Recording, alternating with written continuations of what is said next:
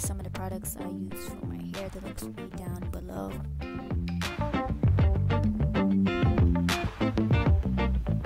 It takes me a while to comb out my hair and stuff.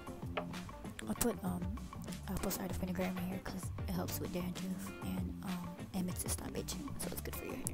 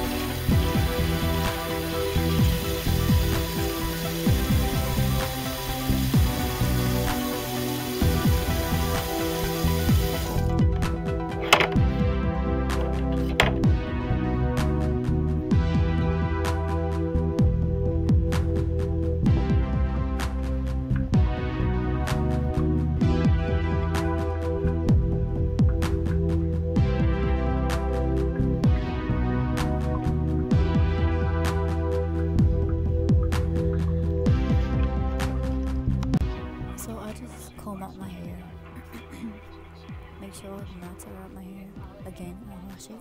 I mean, I comb it. It takes about, it doesn't really take that long since I combed it out